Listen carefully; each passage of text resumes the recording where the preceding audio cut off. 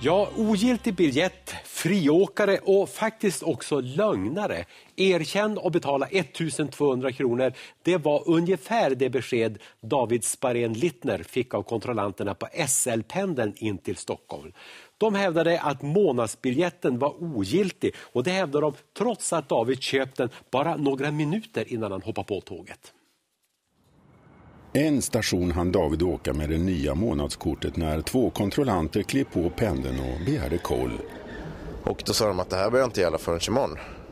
Och det sa, och det tyckte, jag trodde först att de skojade nästan. Jag tyckte det var jättemärkligt för att jag alldeles nyss hade köpt det. Och han hade dessutom släppt förbi mig på samma kort. Det var här hos spärrvakten i Upplands Väsby som David köpte månadskortet för 690 kronor. Då bad de att få se min legitimation och jag vet av Eh, jag har sett folk få böter förut och jag vet att det är just därför som de ber om att få se legitimationen. Eh, och jag ifrågasatte vad de skulle ha den till, om de tänkte ge mig en böter. Eh, då sa de först att nej, det är inte det det handlar om. Men det var böter det handlar om, 1200 kronor. Kontrollanten ansåg nämligen att David hade tjuvåkt en dag innan kortet börjat gälla. Helt fel, hävdar David själv. Och jag vägrade visa upp min legitimation för jag, och jag bad dem istället att ringa tillbaka till spärrvakten och försöka lösa det på något annat sätt. Eftersom David vägrade lämna ut sin legitimation, vilket han har rätt att vägra, så tog vakterna hans nya månadskort med argumentet att det kan han hämta ut på SLs kundcenter mot uppvisande av legitimation. Men hur ska du David kunna bevisa att du inte har tjuvåkt? Ja, det är där problematiken ligger lite. Jag kan ju egentligen inte, det står ju ord mot ord, jag kan ju egentligen inte bevisa det. Jag åkte ju ensam också. Så det är mellan spärrvakten och mig som det här... Det är vi två som, som vet vad, att jag bad om att få kortet från samma dag. Och spärrvakten som skulle kunna vara stöd för Davids sak har han inte fått SLs hjälp att identifiera. Jag fick tag på hans namn men SL vill inte lämna ut någon information om sina anställda så där tog det tyvärr slut. Det han nu begärt är att få ett skriftligt svar från SL. Med vilken rätt beslagtar de hans månadskort? De säger att om jag ska få ett skriftligt svar så måste jag, måste jag komma och skriva under bötesrapporten.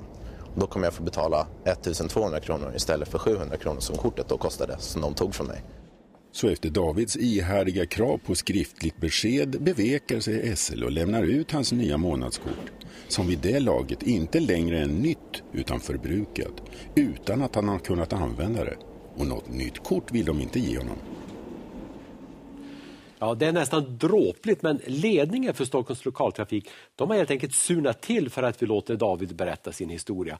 De vill inte vara med i Plus och de vill inte ge oss ett skriftligt svar på våra frågor. Men innan de härsknar till så hävdade presssekreteraren Gisela Pöllinger i telefon att när kontrollanten skrev av numret på biljetten så hoppade David av tåget och därför blev biljetten kvar. Men David har alltså en helt annan version. Pöllinger anser däremot att historien är illa skött av både SL och David, säger hon. Men förmodligen är det faktiskt så att SL har spårat ur riktigt ordentligt. Enligt Henrik Hoffmeister som är jurist på Konsumentverket gör SL förmodligen två fel. Deras kontrollanter har inte rätt att begära legitimation av en vanlig resenär. De har bara rätt att avvisa den resenär som inte har en giltig biljett.